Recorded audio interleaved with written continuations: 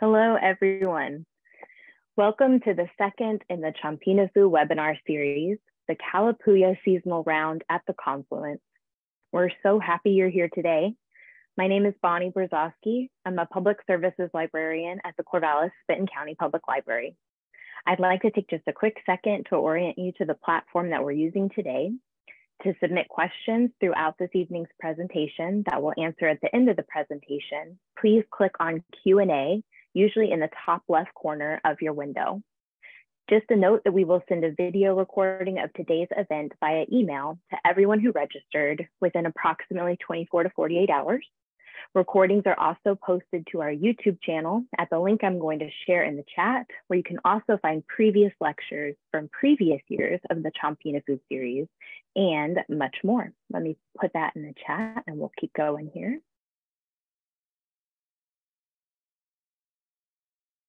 There we go. I have a bit more to share. Unfortunately, there was a technical snafu with the recording of the first in the Champinefu series. So we came together recently and we re-recorded that presentation. We don't have it captioned and on our YouTube page yet. However, I'm gonna share a link in the chat to the unedited version of that presentation that's not yet subtitled in case you wanna watch it before it gets posted to the library's YouTube page. So there's a link to that as well. I'd also like to share the link to register for our next virtual event in this series. It is called Indigenous Placekeeping in Corvallis and at the Confluence on Wednesday, Wednesday, December 7th. It is also at 7 p.m., just as this event is. So here's a link to register that for that. I really hope that you will join us. Now, to get us started, I'd like to introduce Dave Eckert. Going to tell us more about the Champinefu Series co-sponsors and our presenters this evening. Dave is program chair for the Mary's Peak group of the Sierra Club, and he helped to coordinate this event series. Thank you very much, Bonnie. It's uh, been a joy working with you on all of these. So, like she said, my name is Dave Eckert. I'm the program chair for the Mary's Peak group of the Sierra Club, and we are very excited to present David, Dr. David Lewis tonight, um, and uh, uh, talking about the Kalapuya seasonal round. And uh, let me uh, see why this is. There we go. Our sponsors, of course, um, are the Confederated Tribes of the Grand Ronde, the Mary's Peak Group of the Sierra Club, the Spring Creek Project for Ideas, Nature, and the Written Word at Oregon State University, the Corvallis Sustainability Coalition,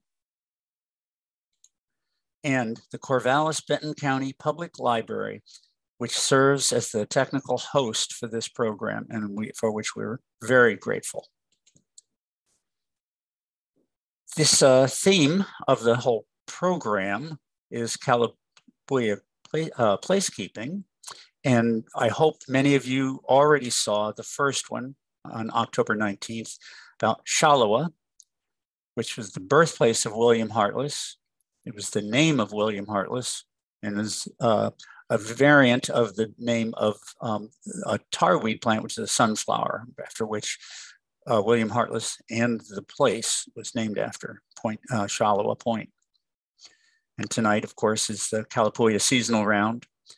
And on December 7th, um, uh, going to have a program placekeeping in Corvallis and Oregon. And um, I uh, strongly recommend you consider watching that, it'll be uh, just like tonight, it'll be unique. And it, will be a first time seeing such things for um, most of the viewers.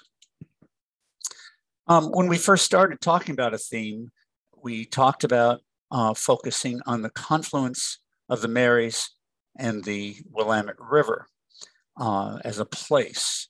Um, we have gone beyond that uh, considerably but this is where we started at the confluence in the thinking. Um, and the um, uh, confluence is an expansive area around uh, where the two rivers meet. And you can see they come in an opposition there and then head north. And Shalawa Point is um, the demarcation point right there.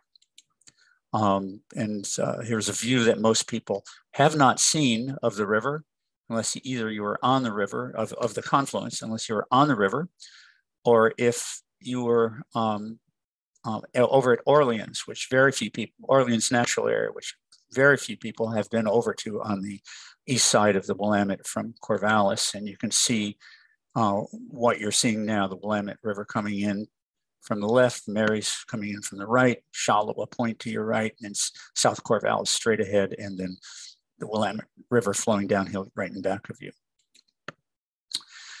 So now it's my great honor to introduce to you David Harrelson, the Cultural Resources Manager and Kalapuya member of the Confederated Tribes of the Grand Ronde. And um, um, it's been an honor of mine to work with David over the past six years on um, these many programs. And um, I'm very honored to work with David and, and to introduce David right now. So take it away, David. Thank you, Dave.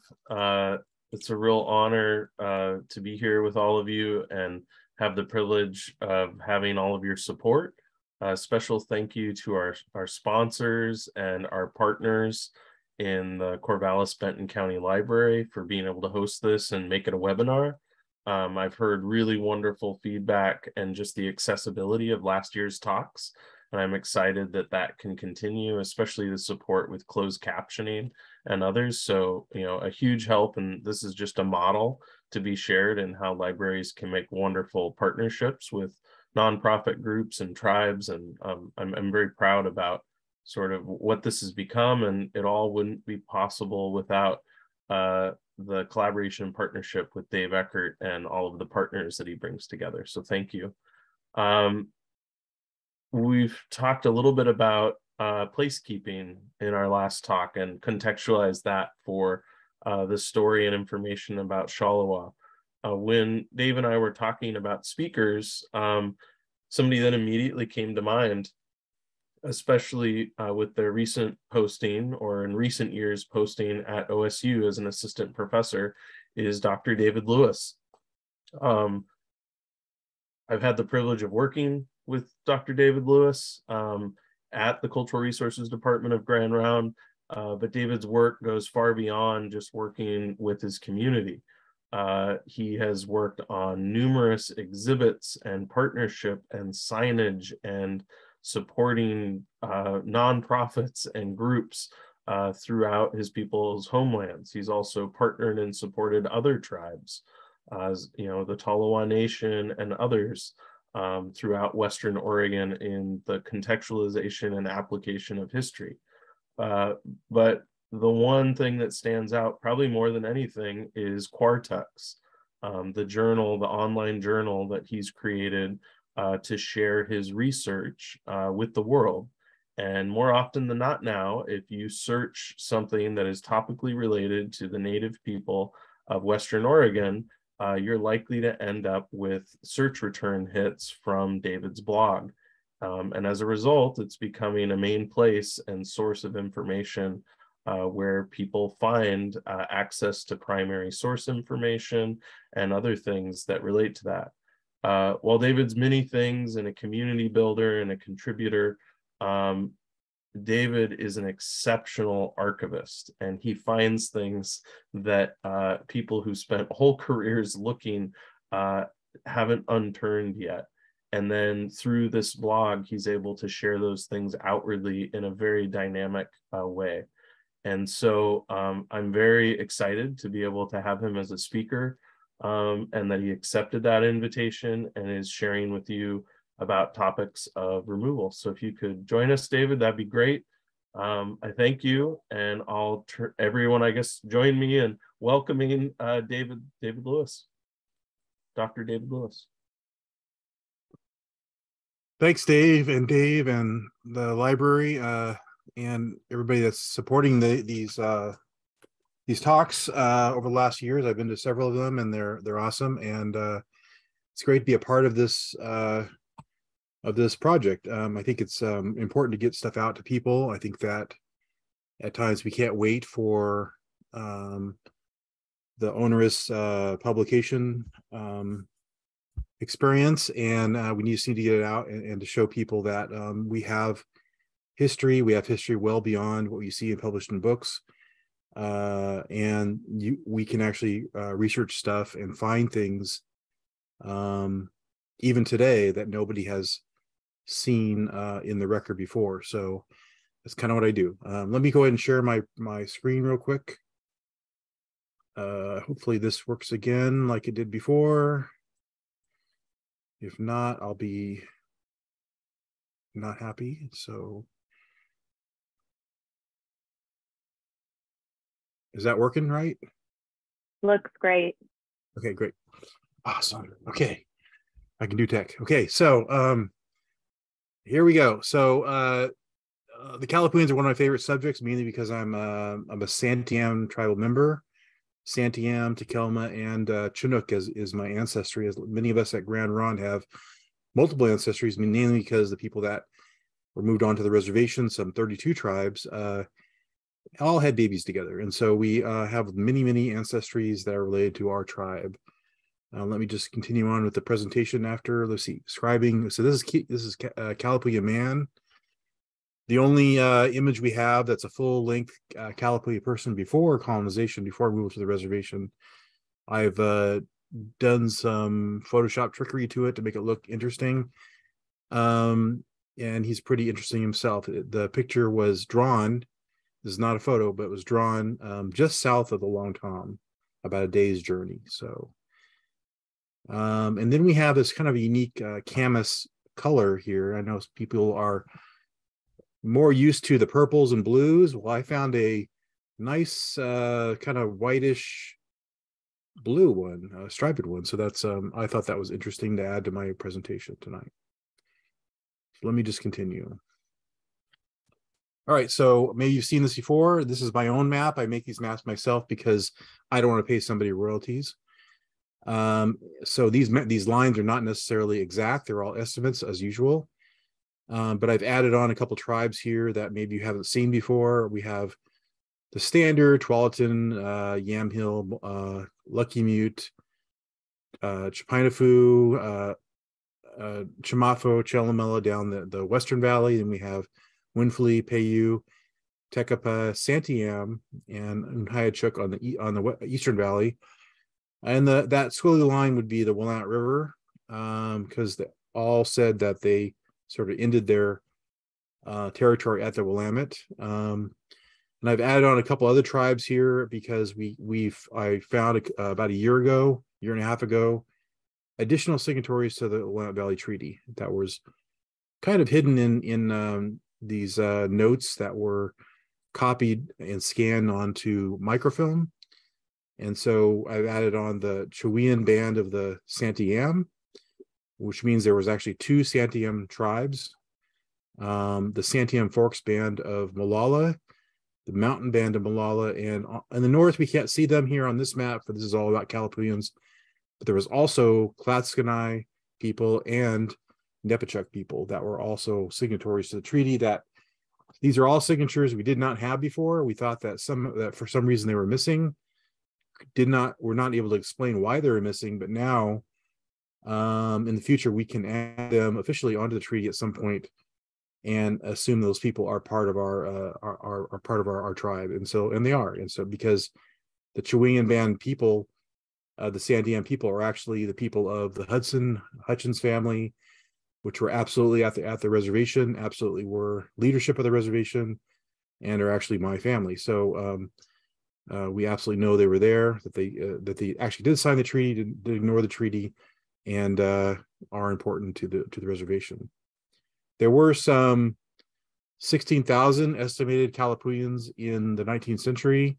There may have been more previously because there was an epidemic uh, earlier of I think it's called smallpox. Um, but most scholars estimate about 16,000. I say it could go as high as 20,000 but we'll we'll see. And they're both in the Willamette and Umpqua basins. I think it's important to mention that there were a number of Kalapuya people in the Umpqua basin, the the Yoncalla tribe that that who actually spanned two basins that came into the Willamette uh, River Valley um, up to at least Cottage Grove. um, and we're interrelated with uh, the Molala people as well. So that's your context here. We are, as you probably know, near Corvallis. The Chapinafu people, there are different spellings of that. So I have one of the spellings on this map. Um, they're also called Mary's River or sometimes Marysville tribes. Here's a representation of what I've been working on over the years of a seasonal round. And this is a, a seasonal round is simply a model of, of where people moved to and what people did throughout the year in terms of harvesting and hunting and fishing. And so we know that that the winters are pretty cold and wet, uh, much colder than weather than today. And so um, people would then stay inside a lot. They would remain inside their plank houses and underground plank houses for much of the winter, living off of the uh, stored, preserved foods that they had uh, put away in the summer times and uh, spring, summer, and, and, fall, and maybe hunting some. Um, but that would last several months. Um, other than that, there are periods when people would go out uh, based on whatever resources were in their area, in their river system, or in their valley, and maybe get sturgeon and uh, maybe go to hunting camps. In the in the late winter, we would see a lot of sort of starvation. People ran out of food. They was had stored, so people would maybe go trade for some foods at Willamette Falls, or uh, our our uh, some of our sources say that people went to early Camas uh, camp well before flowers came up.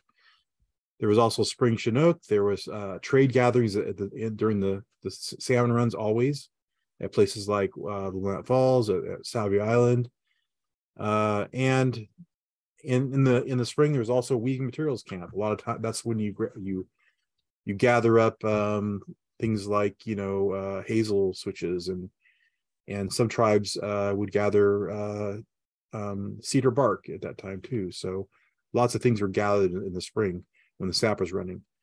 And then we have uh, Camas have, has gone to flower, and and basically in May into June we would start to see uh, Camas root camps appearing. Um, in the midsummer, huckleberry camps, other berry camps, and maybe hunting camp at the same time. A lot of these things were not monolithic. There was always several things going on. Men and women would do different things sometimes. And we have actually stories of uh people going into the hills to with their whole families to hunt the the women and children would set up camp and we'd be picking berries and preparing food while they're in camp while the men are out hunting.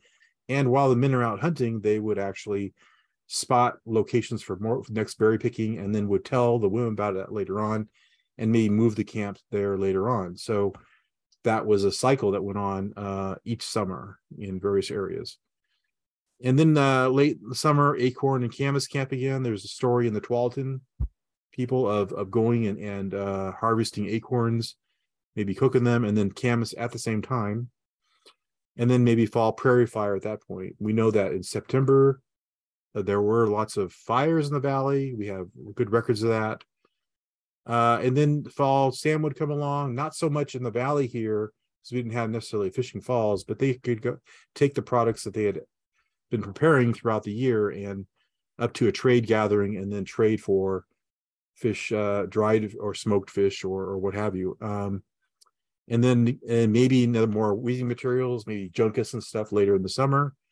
Uh, hazelnut camp, uh, then Wapato camps would come in around October probably November as well, and then back to hunting camps again. And so there's your cycle. This kind of a average cycle. And what I didn't include here is the movements. And so um, a lot of times, uh, you know, all the villages we know about uh, are mainly mainly called villages, but I think some of those are actually um, seasonal villages. Uh, those are the ones that were seen by explorers, and uh, I think those were my own theory is that those were next to the riversides where they can get easy access to water, um, to uh, to canoe travel, and then in the wintertime they would move off the rivers for because it'd be lots more rainy uh, and there would be flooding happening, and so they want didn't want to live near the flood.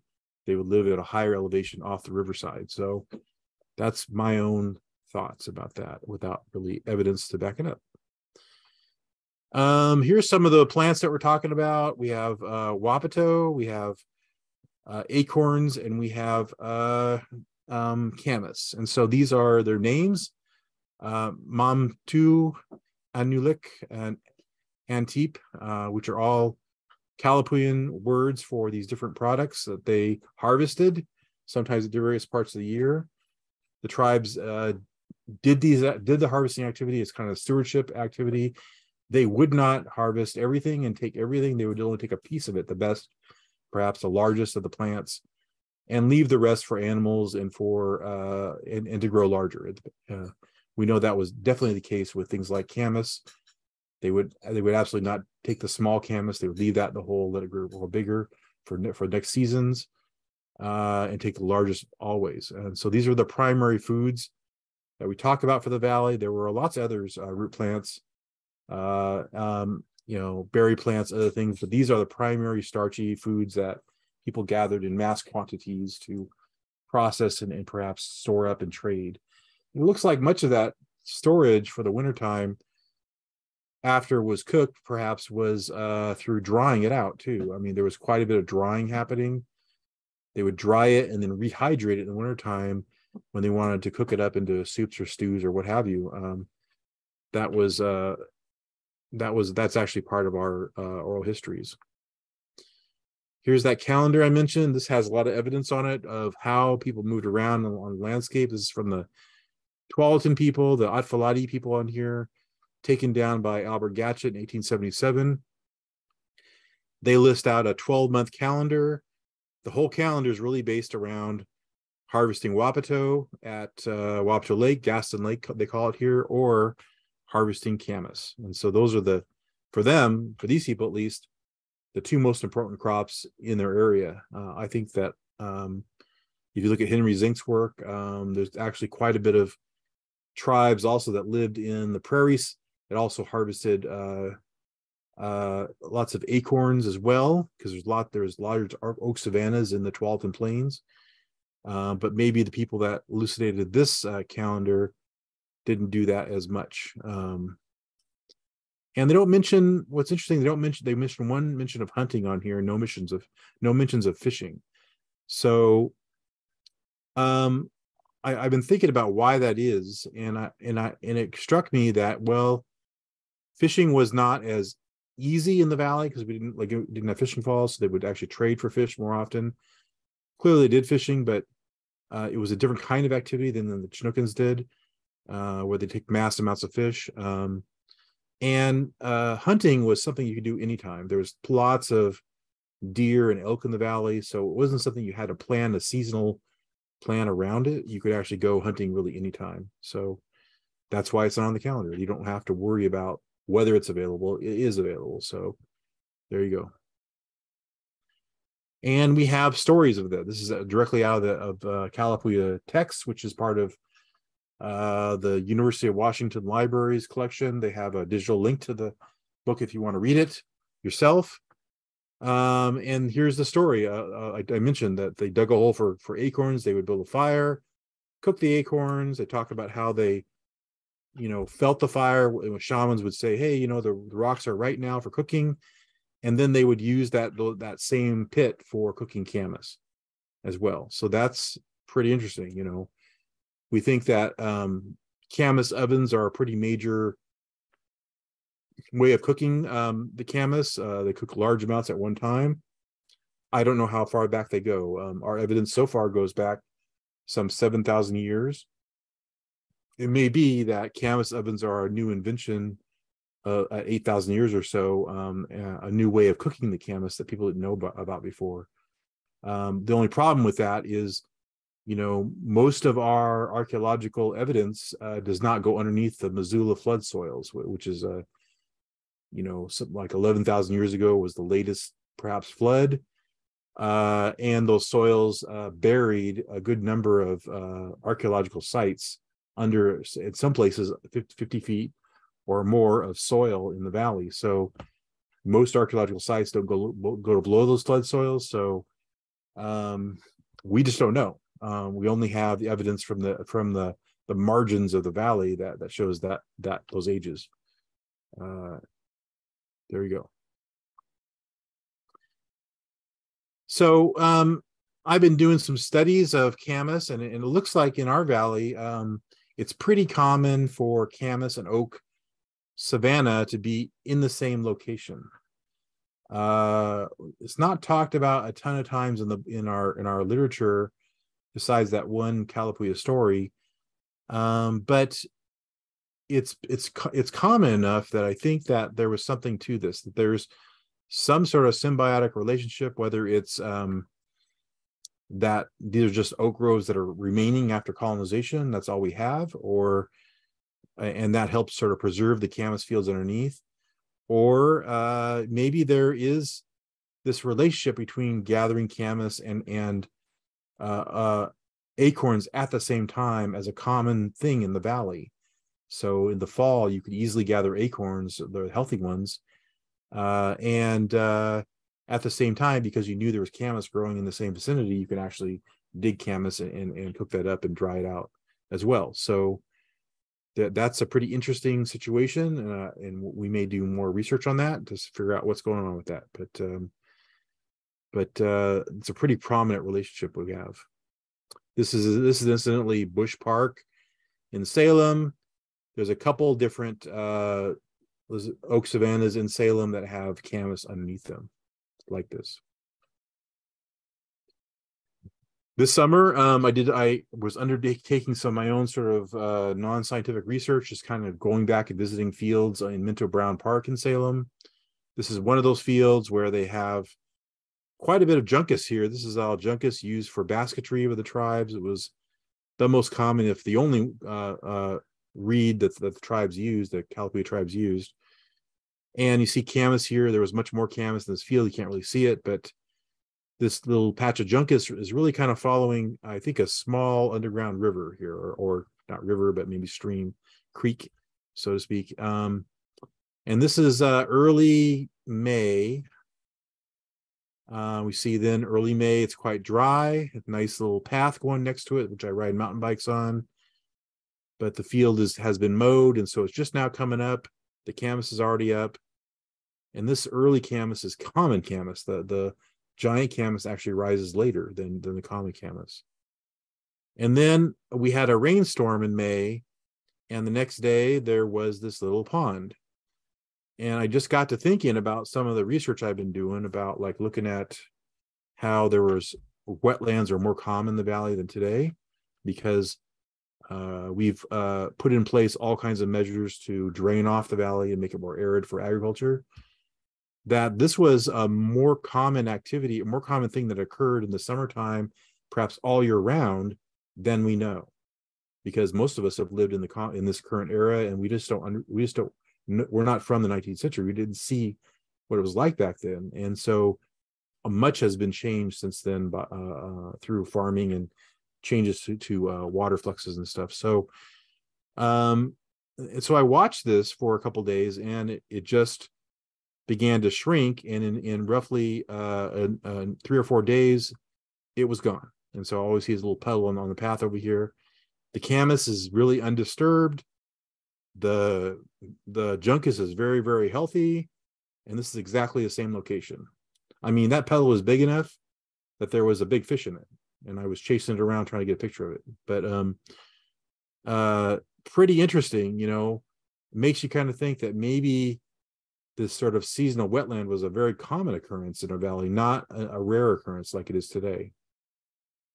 Um, and here's some of that giant camas now just coming up in, in the late May. They're just starting to bloom out, and I was watching how they bloomed, and and I could see them coming in stages, and they bloom from the bottom up first first flowers that come out are the very bottom and they start moving up the plant over a period of three or four weeks they will eventually bloom in about seven about between seven and 12 stages uh, over a period of about three to four weeks uh, and this giant camas seems to last quite a long time some of it well into july um, which is which seems very strange because we always hear about camas in april and may but we're but I'm talking uh, this giant camas was survived well into July.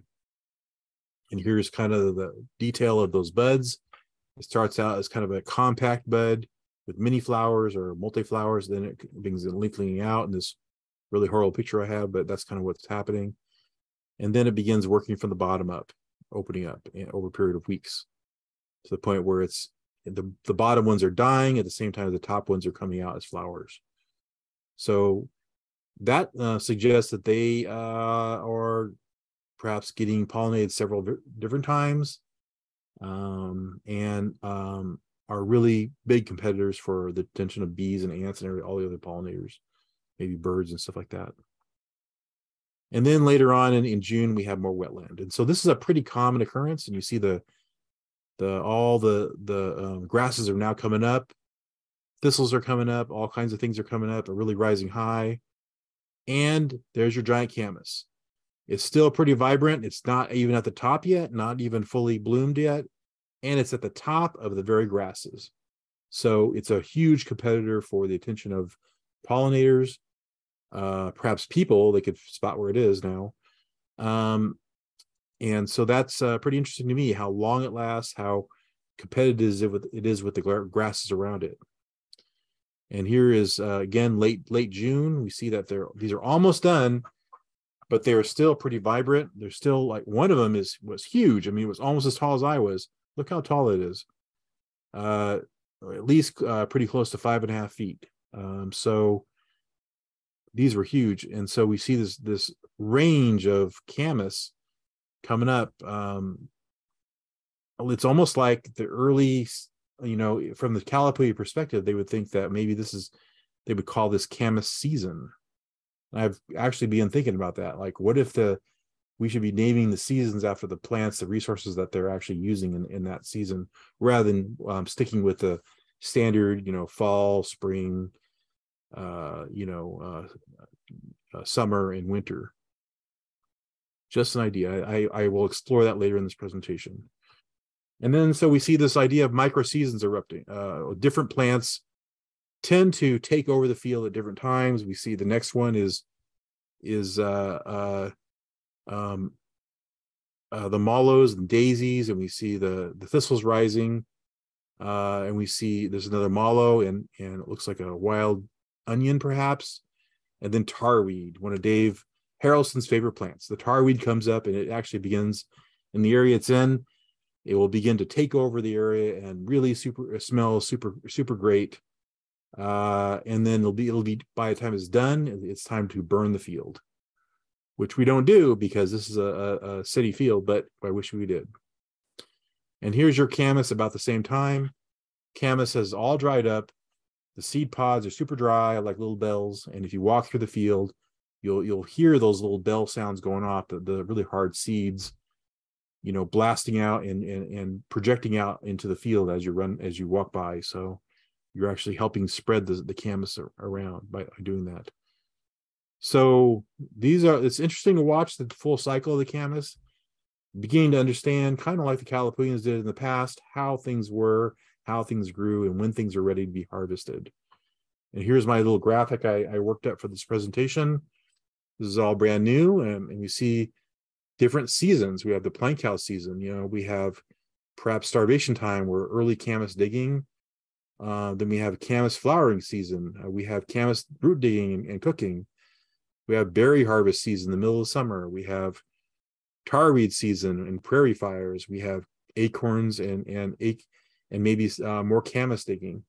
And then we have Wapato season, Wapato hazelnut, perhaps at the same time. So these are just uh, ideas, thoughts thrown down on on this page, and uh, it's really interesting to sort of think about how the Kalapuyans in, imagined and organized their world in, in, in kind of the way what the calendar looked like, uh, but as the seasons of the certain plants they would go and, and harvest, which suggests that there are more seasons for them than our simple four seasons today. And here's your uh, gratuitous picture of burning, which we all love, burning landscape, which actually renews it. It's actually a renewal activity, renewing the landscape for the next season of plants to grow larger and better, more food for us, more food, uh, more robust than ever before. So it would it would help absolutely acorns, tarweed, and camas. helping uh, helping camas by depositing nutrients in the soil, helping them by getting rid of uh, pests and, and uh, com- competitors, and uh, it would survive pretty well underground. The camas bulbs because fire doesn't go far into the ground if you're actually burning all the time. They, they it, it's what they call a cool burn. They burns across the landscape and it's done. Doesn't have to destroy everything. So these are uh, important for that landscape. Um, and back to the water issue. Um, um, I started, you know, my recent research last year has been on the, this water issue because a lot of people talk about burning. Burning is important to bring back the landscape, but I also think that we need to think about the relationship between fire and water. I mean, we not only was fire taken from the landscape, we no longer use it regularly as a way to sort of manage our world. It's uh water is also taken from our landscape. Lots of we had lots of water in this valley. And this journal, these journal entries from Henry Eld from 1841, when he was on the, at the Wilkes expedition, suggests that there were these lo- really large sort of water systems, river systems that uh, were just swaley, swampy marshes that were all over the place. Uh, they found numbers of these things when they uh, were, were, were trying to go across the landscape at the same time as they were seeing people burning the landscape, burning off the whole landscape, burning off the valley, and we're sort of chasing the fire down into the southern valley uh, when they're moving through there. And so basically, uh, it was, I believe it was sept- early September 1841. Um, so pretty interesting. Um, that's something we don't necessarily see very much anymore. We don't see a swale landscape. That's all again, uh, you know, uh, dredged out. It's made the water is made to go away faster, uh, go into the rivers faster um, to make help the uh, the land and, and the soil stay arid longer, so, so that we have a full growing season for plants that are not from here, plants that are brought here for agriculture. Um, and so I think that if we think about restoration activities, like restoring things like restoring uh, uh, fire to landscape, we also need to re- think about restoring water, standing water, seasonal water to our landscape as well. That has to be part of the of the conversation and picture.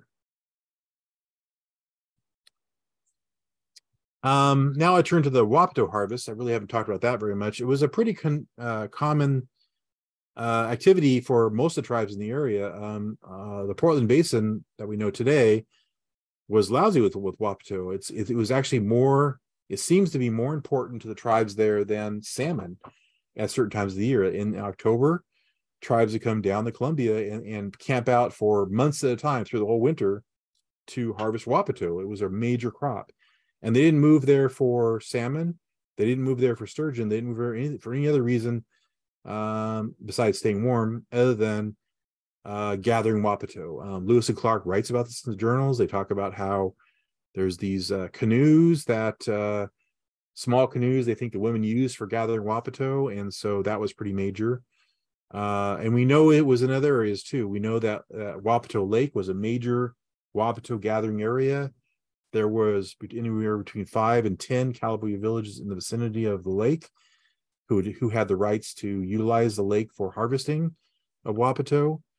Uh, from my own research last year, I, I, published some essays about this, about how the lake was drained by 1935 by a man named Hayes and, and his partners.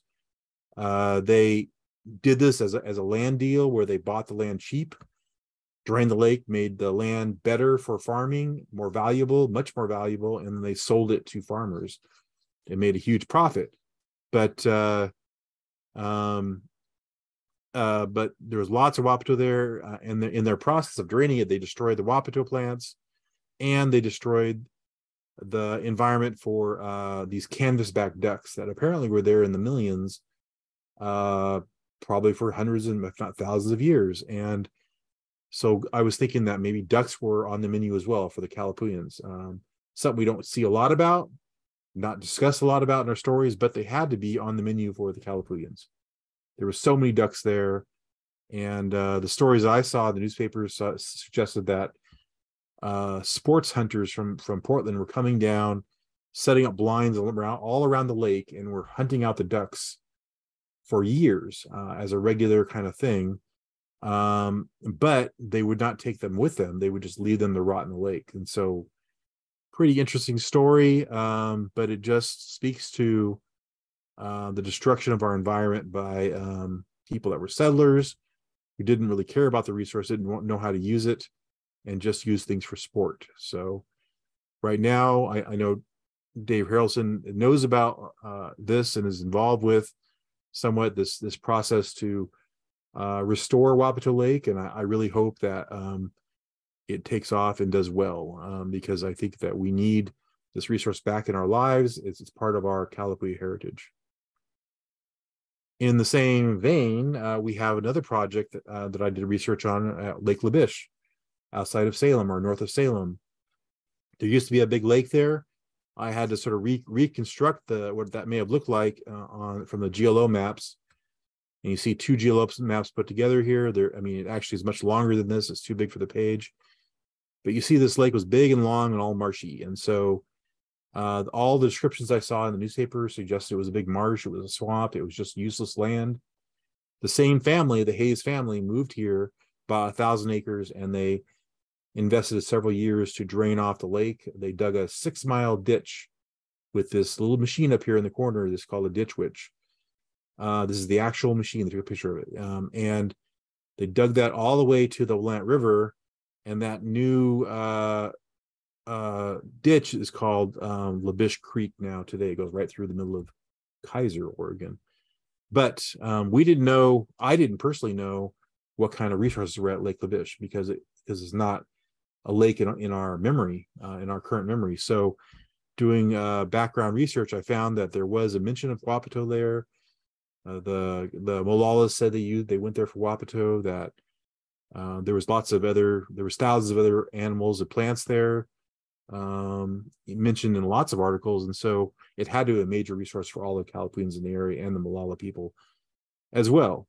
And uh, it just so happens this last season uh, in in the in the late summer, I was called by a farmer at the lake who had turned his land 20 years ago into a preserve, a nature preserve. And here is what we found at, on his land. We found there are four of these patches of wapato on his land.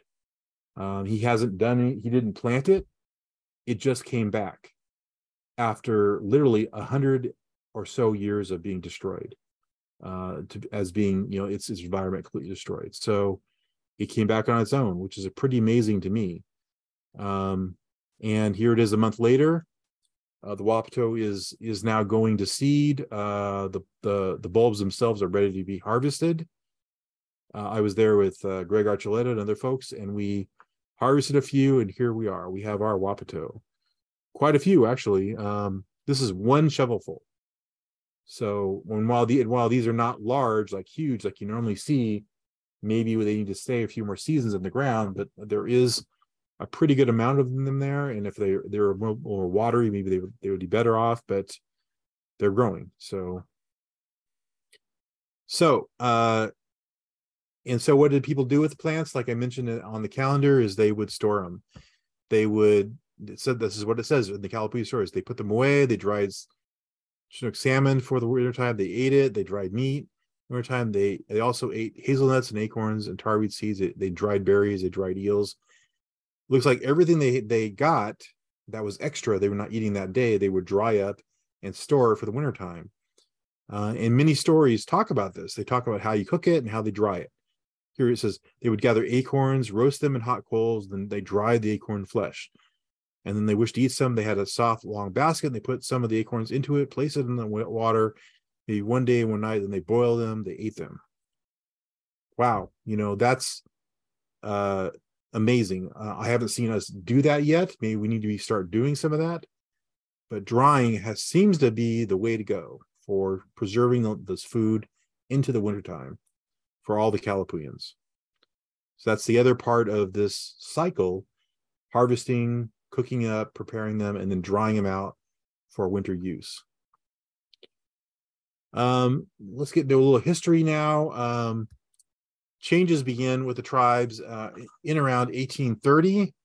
as we probably heard before, that we had smallpox in the 18, I think actually 1770s. Malaria begins, begins around 1830.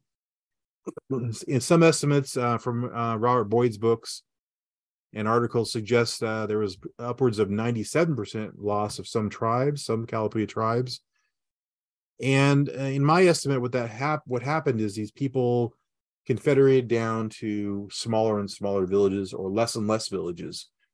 Uh, they had to sort of stay together for safety and security. You didn't want to be the, the only person in a village, so you wanted to move in with your relatives or, or the survivors.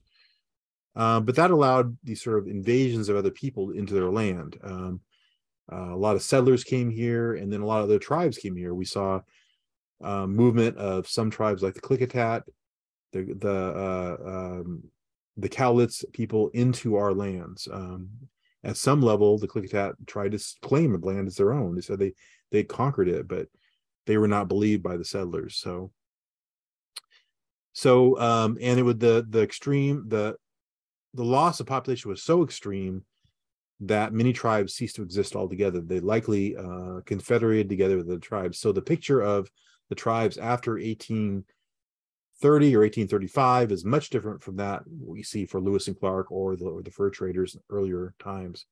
They saw a great diversity of peoples.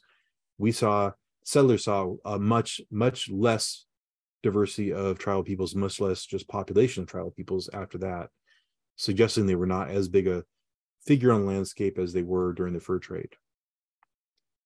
Settlement to began taking land, taking lands from tribes, forcing them off their off their lands, and then changing the environment to agriculture. They began monocropping everything. Reduction of uh, tribal t- people disease caused a lack of ability to defend tribal territories. Rapid resettlement took food, land, and freedoms from tribes. When people fenced their land, they would not allow people to walk across that area they've had fenced. And when they plowed up the soil, they were destroying native food crops. Uh, and then the hunt, and then the settlers are really good hunters. They brought guns and stuff with them, and uh, they also like to fish too. So they were began to to degrade all the different food, uh, wild food sources of the tribes. Some tribes uh, opted to fight, some did not. The Kalapuyans, for whatever reason, decided they were going to work with the settlers, and many of them worked to sort of marry in and, and labor with the settlers to help them with their farms, not realizing that so many settlers would come in just a few years uh, and the and tribes like the Cal like the Tualatins and others began to adopt the culture of the settlers, uh, becoming farmers themselves, sometimes ranchers, laborers for the newcomers. I mean, there are records of some tribes beginning to adopt uh, large herds of horses and cattle uh, well before the reservation era uh, at all. So, and here's that that that scene where you go from a field of camas to uh, settler colonization and, and, a field of wheat. That's a, a dramatic change, uh, monocropping, destroying vast ecosystems, and it was it wouldn't be so much a problem it happened in one or two areas, or just a few areas. But once the whole valley was turned into agriculture, then we have a problem. Now we're today we're at a situation where we're one percent or less of the whole valley is is a traditional native uh, uh, landscape. So, um, and the and you know, moving forward from that period when things began changing, um, tribes were seen as early on very helpful. Uh, they were seen as vital because how could you build a farm of uh, literally a mile square, which is what the allotments were, uh, without help, you know, without laborers? There was no other laborers there. It was not like a population of ready laborers that were sitting in the city next door. There were no cities really, so uh, there was just a bunch of towns. So, so they began to sort of hire the these these uh, tribal members to um, produce you know staves for fences and to help build barns and to help you know with the crops and to help you know uh, uh, tend to animals. And that was fine um, until the, the, the farms were all built and then they had much less use for the tribes um, and then the land would be cleared and all the food sources were kind of gone by that point. You had to really struggle if you're a tribal person for food uh, your land was claimed out from underneath you. You were living on, at that point, settler land. They claimed it at their behest. You know, if they didn't like you, they would try to get you off. Um, and so they uh, there was many sort of conflicts and wars erupted. Some, you know, the wars in the north and the south, the more common. The Burger War, the the Cayuse War, the Walla Walla War, the the the um, uh, the Yakima War. Those are all really commonly known wars. In our valley, we had a few conflicts. We had some conflicts a lot with maybe the Molallas and Klickitats in this valley, and and uh, Klamath people in this valley more than anything else. The Calapooians didn't seem to uh, do anything um, negative uh, except for just say that it was their land and didn't like the settlers taking it without paying for it, and that was a pretty common theme. But they began starving, and they began, and in, in tribal society, when you are when your neighbors are starving, they come to you for help. You help them out. But settlers didn't have that same theme. Uh, they they didn't have that same philosophy about life. If you were a vagrant, if you were starving, uh, you were not to be helped.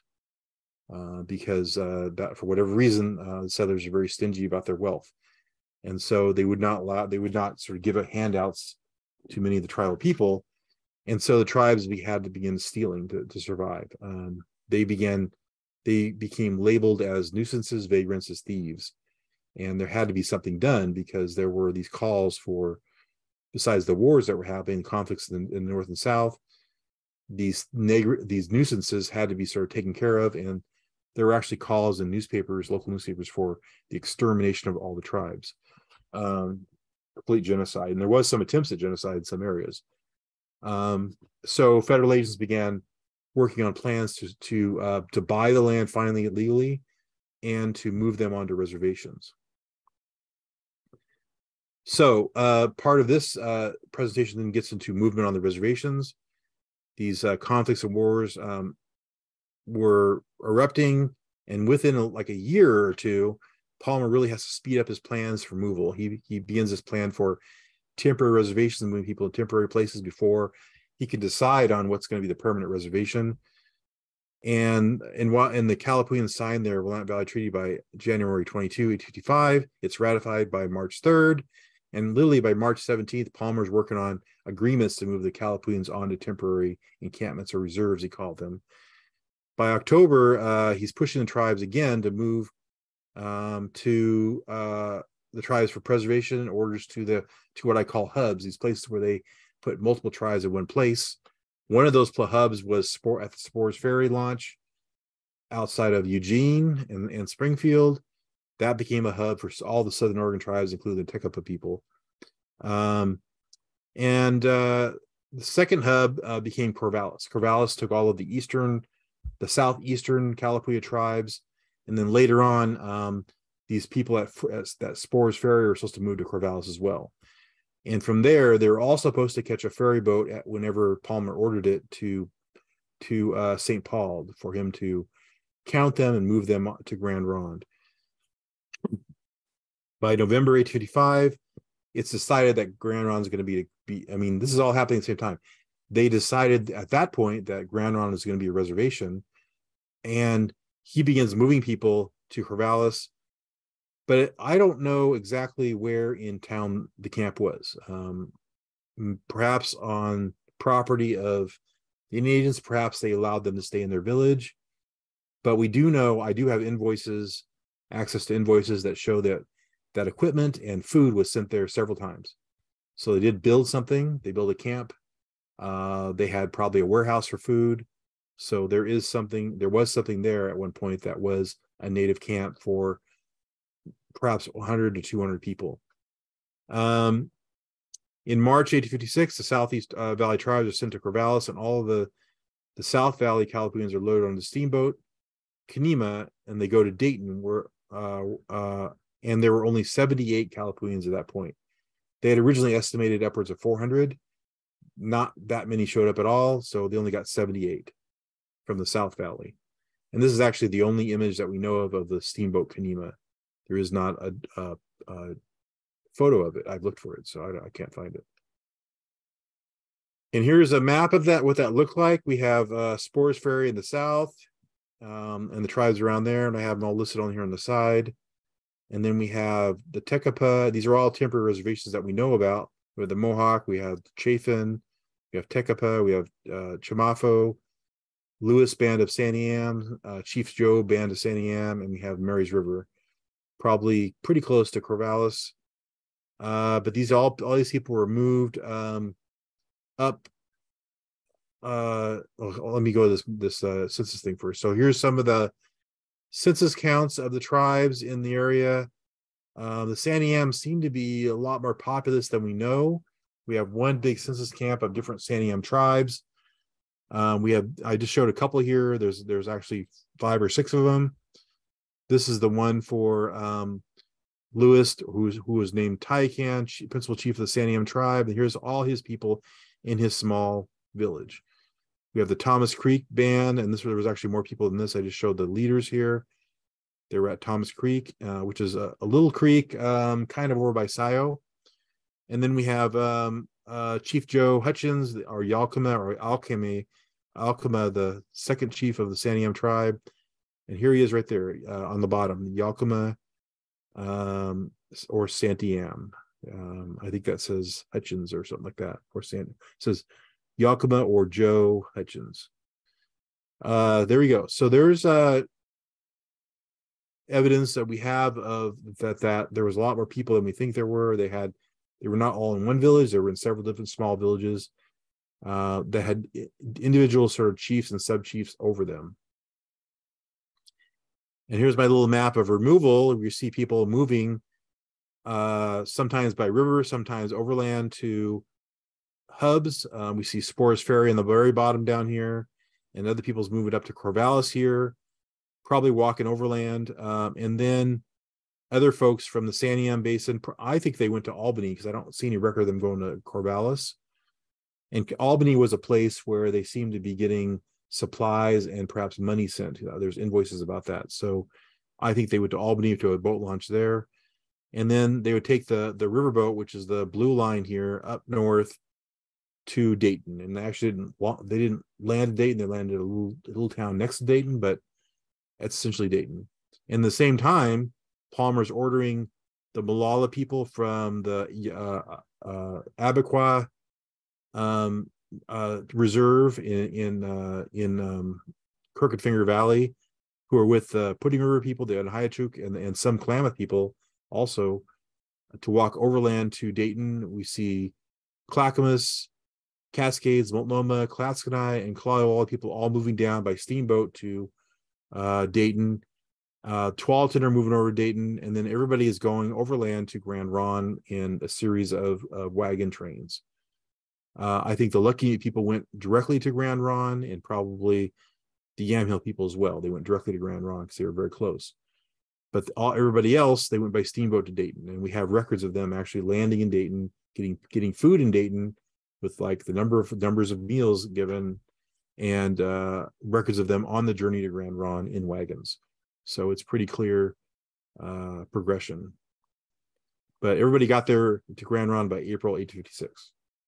That's what it says. And there were some stragglers, some individual families, some individual like bands of people that came in later on, but most of them were moved by April 56 uh, invoices and affidavits that we have from the Palmer records uh, confirm delivery of all these people to the Grand Indian Reservation to this little valley right here, um, and uh, including some people like the like Klamath, upwards of 100 to nearly 200 Klamath people came, and several Klickitat people came as well.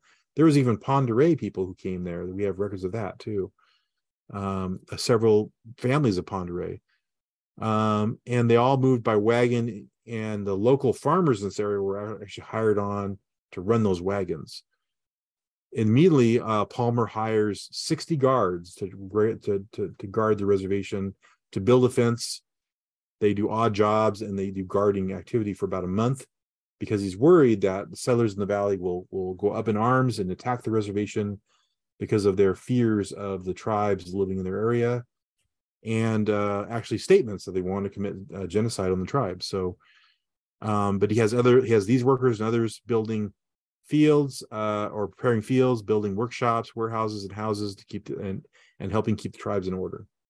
At the same time, this is all happening in just a few months.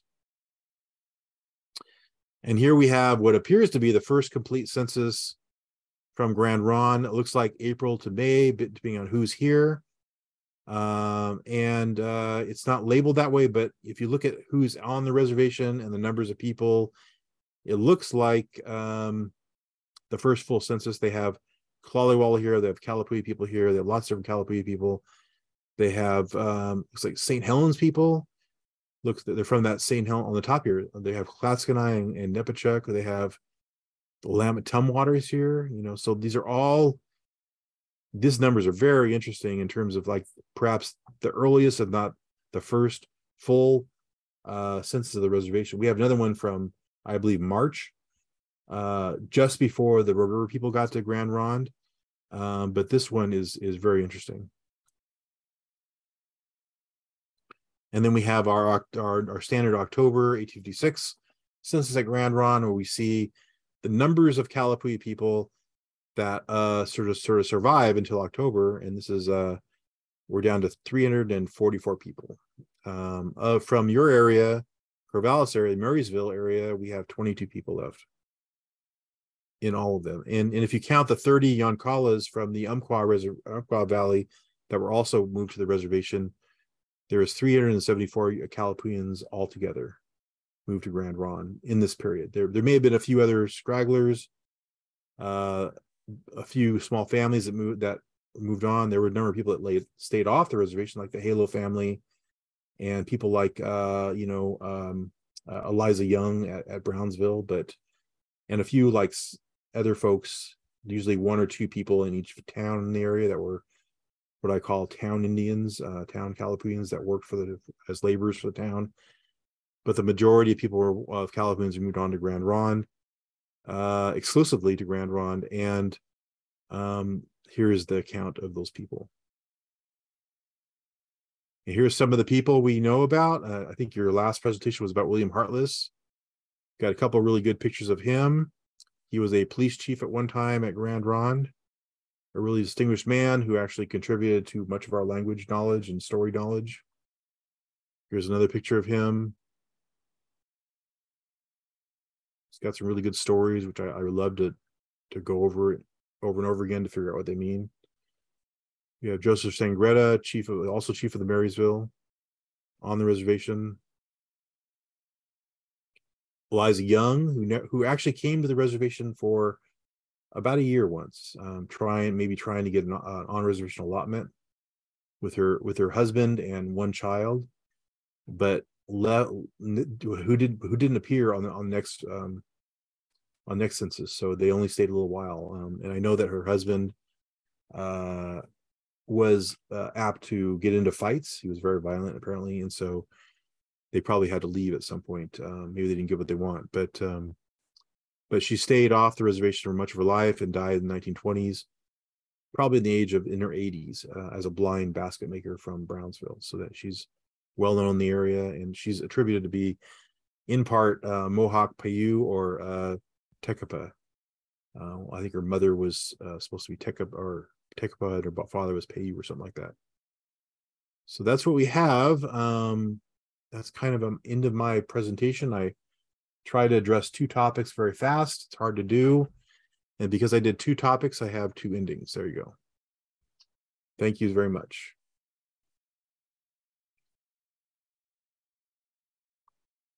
Great.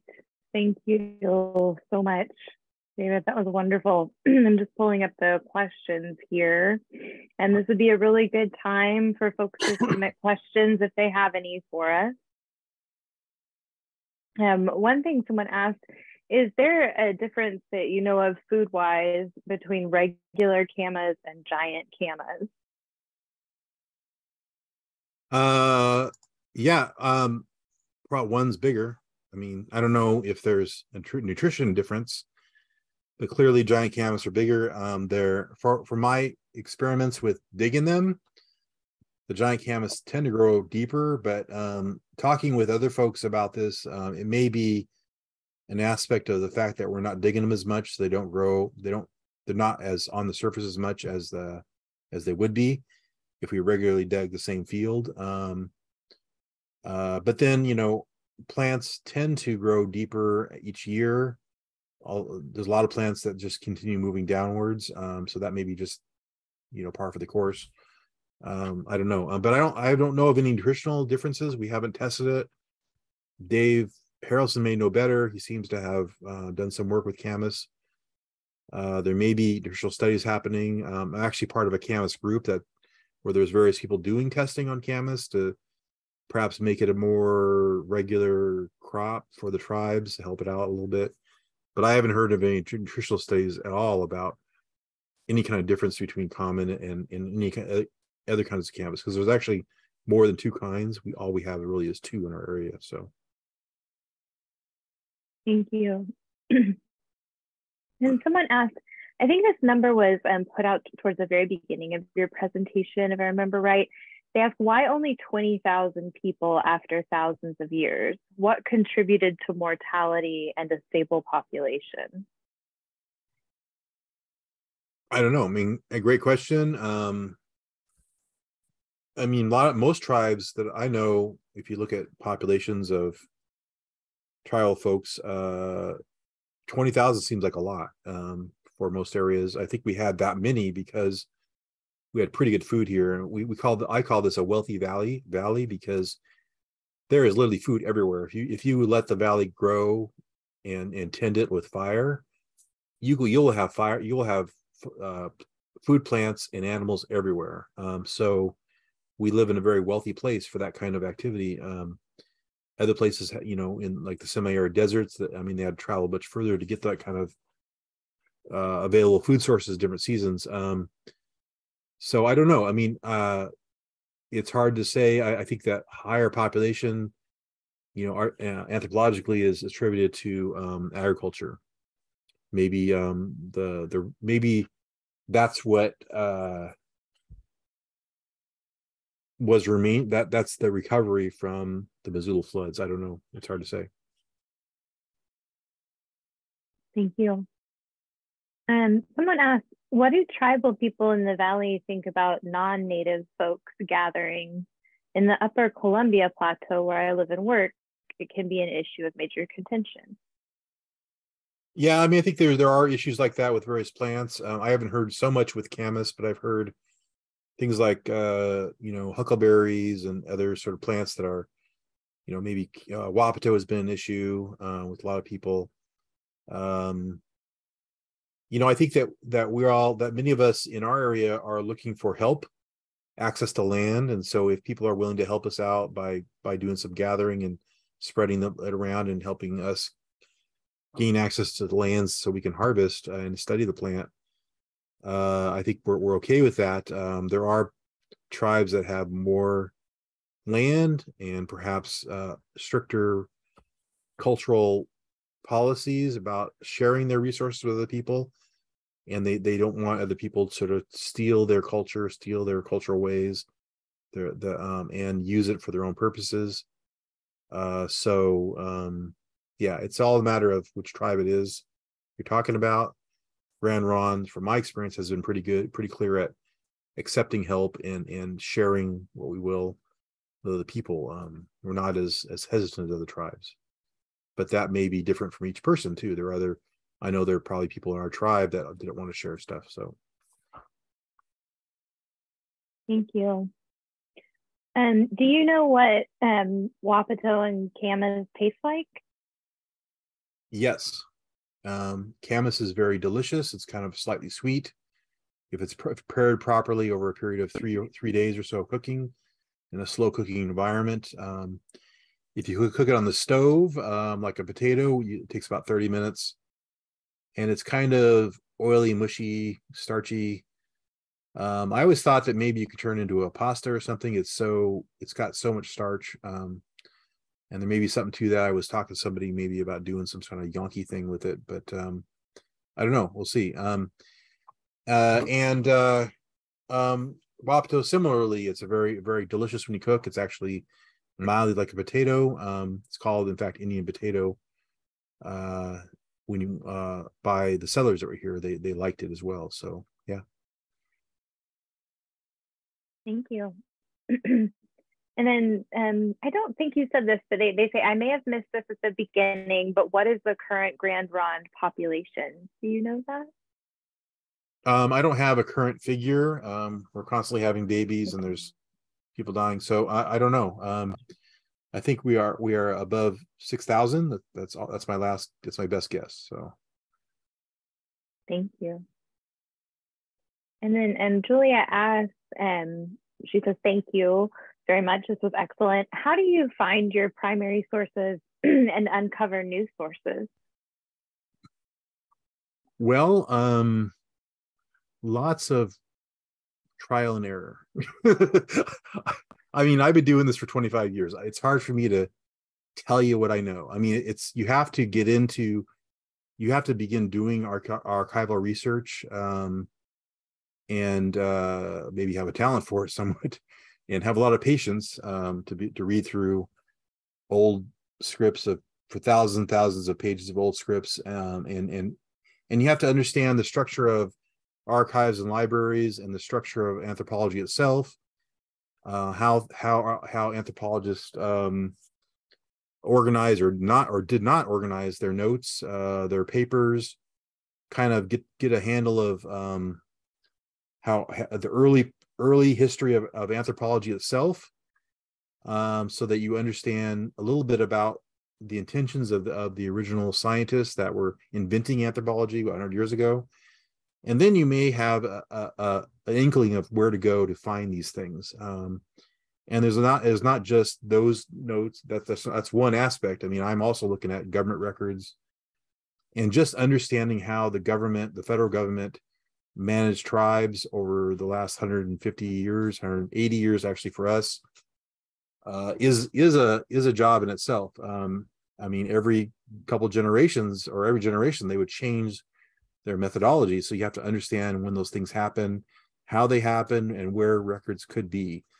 So that's that's led me to you know begin doing sort of detailed uh, surveys of all the the available microfilm records that I can find.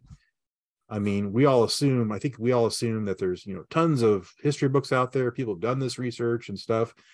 But if you begin looking into the actual records that are available in your libraries and your archives, I found that there's lots of stuff that, that these these previous scientists, uh, scholars ignored because they were interested in certain a certain story, a certain narrative, and they ignored everything else. And so, if you start if, as a native person getting into these things, realizing these this is actually my own tribal story, this is our tribal story that you know, uh, and everything in it is interesting to me because it's it's about all this sort of network of different cultural things that are happening, uh, including genealogies and everything else. And so that has led me to many, many directions. Uh, but it's led me to so uh, to, uh, different ways of perhaps collecting records, uh, starting digital archives 20 years ago.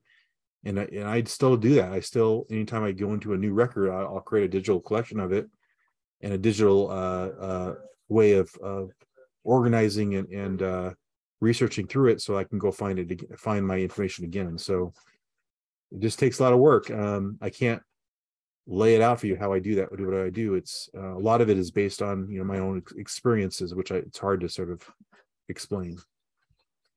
Sure. No, I think that's really interesting. Thank you for that answer.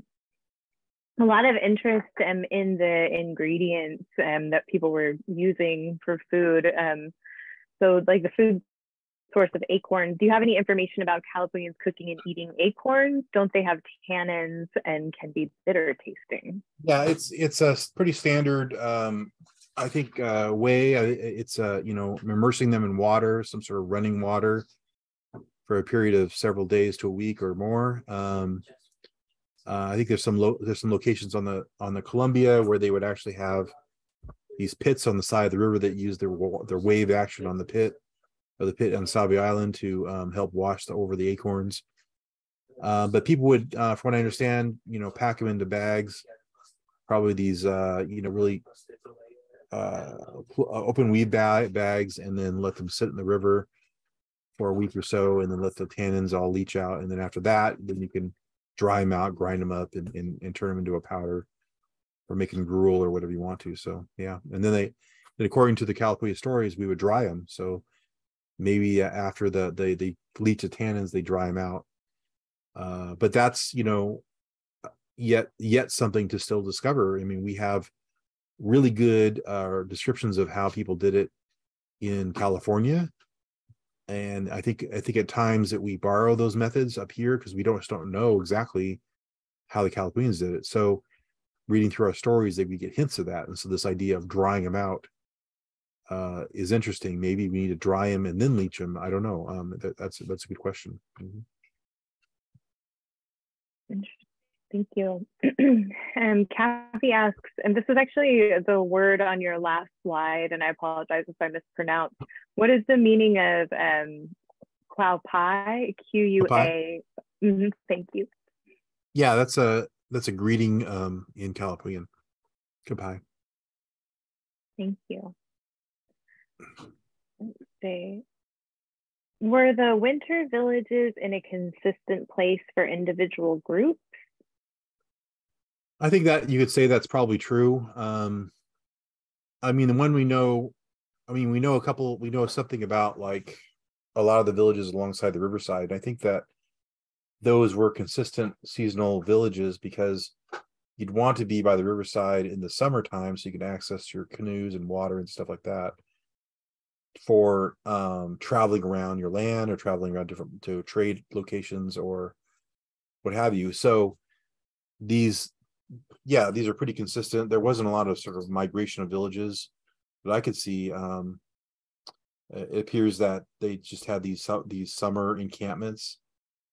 Uh, may have been somewhat villages alongside the river, and then uh, I I really think they moved inland because we have uh, the one record we have is is the the house pits that were found in Salem in like the 1960s around where South Salem High School is. Um, and if you know anything about that area in South Salem, it's kind of on an incline on a hill. It's above um, where any floodwaters would be. And so um, that that and other clues in, in the writing suggest that um, people would have moved off of the area that that flooded uh, in the winter times, and so they would be above flood water, flood waters. I also think that you know we didn't talk about mounds in this presentation so much. Um, I'm kind of turning around to the opinion in in the the Wilkes journals.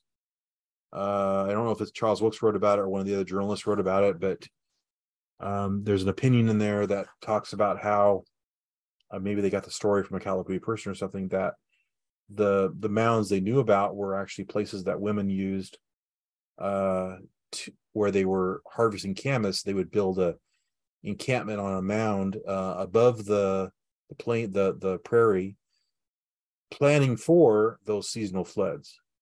So if you if you're if you pitch your tent on a on a on a or your whatever it is on a a mound above the floodwaters you're not going to get drowned with floodwaters if it starts raining.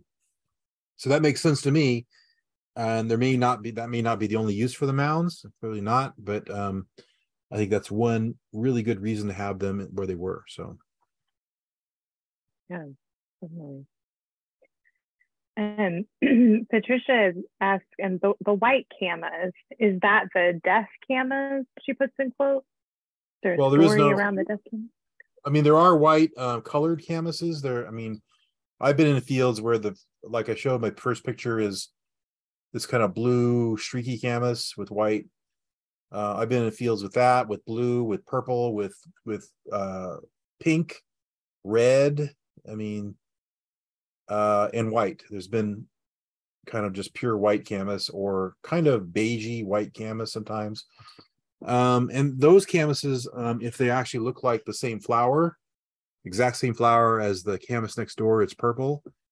It's going to be real camas. It's just a, a it's just a genetic variation of the real camas. What we call death camas um, is not really a camas. It's another kind of plant altogether. It just happens to grow in the same location, same fields, at the same time, but the, flowers are completely different. They have this like cone-like shape, the white cone shape, um, and the the bulbs are are of that of that death camas is is mildly similar to to regular camas, which is why they pull they try to pull the the death camas out of the fields uh, so they don't get mixed up when they come to come around um, after it's gone to seed and start harvesting. So, because you normally harvest when not when the plant is flowering, um, and so you can't really see exactly what the plant what the flower was like sometimes. So. And someone else asked, would you please speak briefly about what was happening with the Federal Morrill Act and the establishment of land grant universities like Oregon State University at this time around 1855? You know, I haven't really studied that very much. I know that the the land was basically given to um, universities as kind of an educational thing.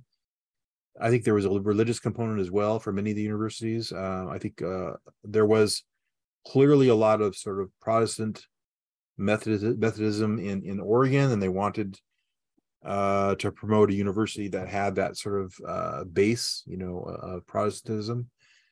Um, and uh, and so and so there was kind of a little bit of, I don't know, insider trading, if you will, um, of of giving land to people that thought like them. Um, at that point, by the time the Oregon Territory came along, turned into a state in 1859, uh, everybody assumed that they owned all the land anyway. So it wasn't even a thought that the tribes were gone; they were on the reservation. So there wasn't even a thought about tribal rights at all at that land. So yeah, uh, but yeah, that that they basically got the land for free.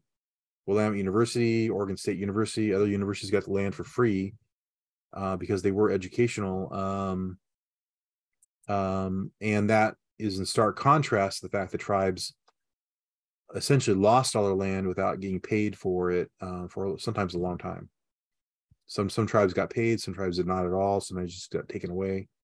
In Oregon, the tribes that lost their land without getting paid for it all uh, for several generations was um, tribes on the coast mainly, um, and on, on some on the Columbia too. Um, many of them were actually paid later on after they sued the government, but the people that actually made the agreements in the 1850s never got paid. So um, I think that means needs to be said. Those people never really saw uh, any kind of payment for their land at all.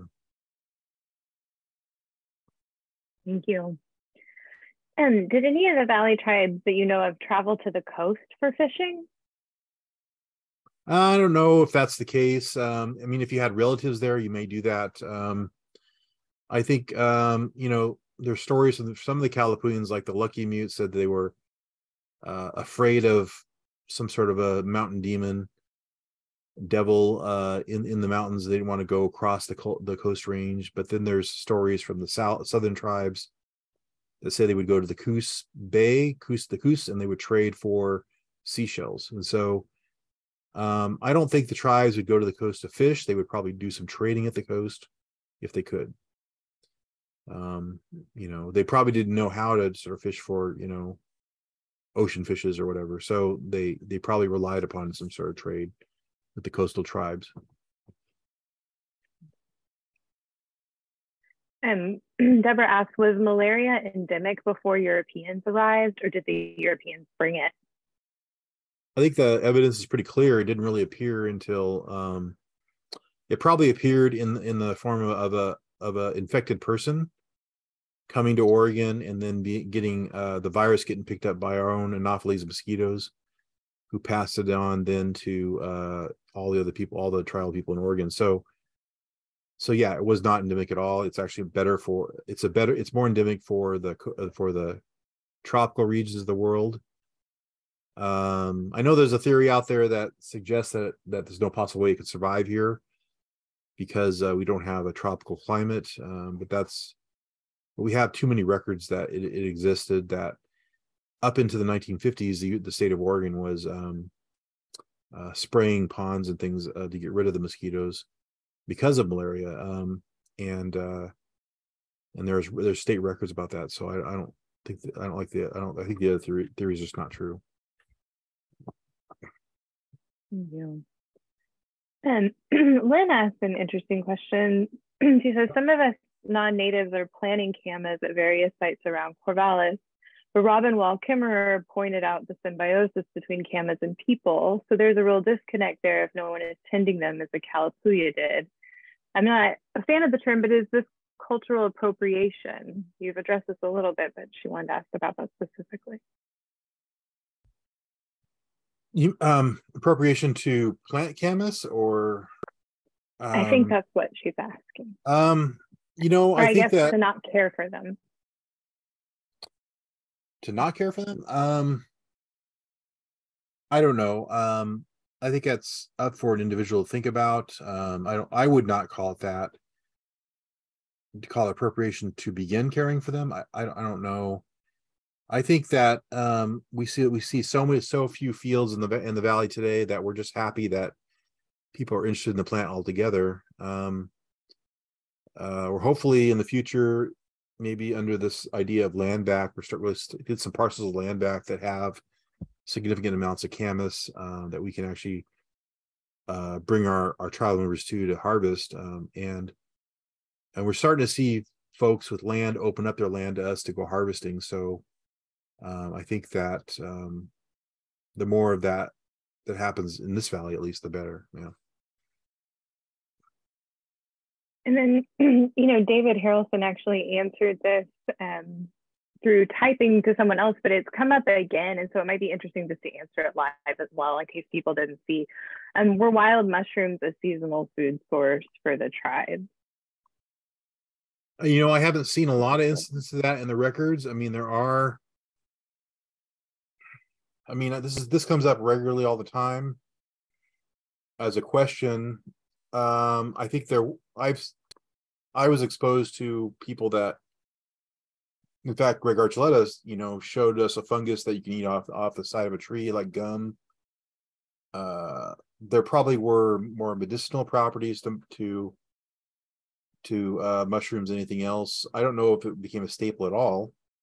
Um, that's hard to say. I mean, uh, for at least our tribes. I mean, I think other tribe. I mean, clearly every tribe has its own ways of doing things. A few people are asking kind of variations of this question. They're curious about trade between tribes. Like, for example, like how did and the tribes communicate? Like, what was the language of trade between tribes? Um, well, we, we know uh, Chinukwa was the major language of trade in this area between all the tribes. Um, I don't know. We haven't really studied it very much in our tribe, but I know Indian Sign Language was actually very big too. Uh, the people that have studied that, um, Phil Cash Cash from the the Umatilla tribe has studied it quite a bit. Um, but uh, yeah, that's something that maybe we need to think about is is this idea of, of Indian Sign Language, bringing that back. Dave, can we start immersion classes in Indian Sign Language sometime soon? Anyway, so uh, but yeah, that was pretty common. yeah, there we go. yeah, right.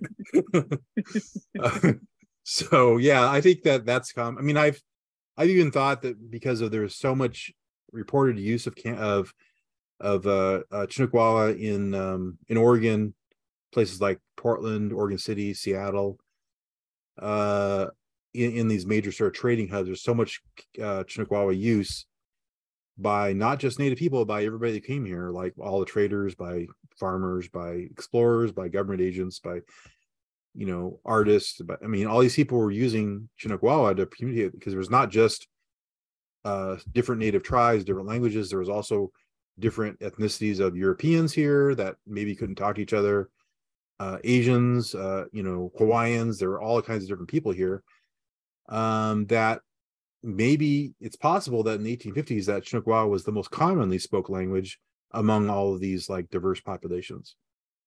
We even see it appearing in the newspapers and in books, and it's just crazy. I mean, I think that uh, the work of what David Robertson Robertson from up north, um, I think he's got a big website online um, shows that that uh, this kind of uh, information that there's a lot of of, of Chinuk Wawa use in the media at the time, uh, suggesting that it was a pretty commonly spoken language, if not a set of expressions that we've adopted partially into our own vernacular today. I mean, things like Ilahi and Tilikum and uh, you know, Hai Mukbuk and those kind of things are, are have become common expressions that everybody knew. Great. We are just hitting, I feel like um, the other questions we have left are just going to be um, pretty lengthy ones. So I don't think that we have time for them tonight because we did just hit 8.30. and I want to respect um, David's time here. I want to thank you so much, David. This is just a really interesting um, history, and this is going to be fascinating. I'm so glad that we have this recorded and it's going to get shared with a lot more people. So I really appreciate your time. Everyone seems to be really fascinated. We also got lots of um, thanks, and this was so amazing, and we're so impressed with everything you're sharing tonight. So, well, thank you. I mean, I think uh, again, this is just the beginning. Much of this is supposition on my part, and things could change in the future. We're just beginning. I'm just personally beginning to figure out some history and some culture, and I'm I'm sure that once we start to, uh, comparing more notes with the folks like Grand Ronde, we'll see much more appear. So just stay tuned, right? That's great. I think that's really exciting. We look forward yeah. to seeing that. Great. All right. Well, thank you everyone for joining us tonight. Thank you, David Lewis. Thank you, David Harrelson. Thank you, Dave Eckert. We'll see you on December 7th, I hope. Take care, everyone. Good night. Good night.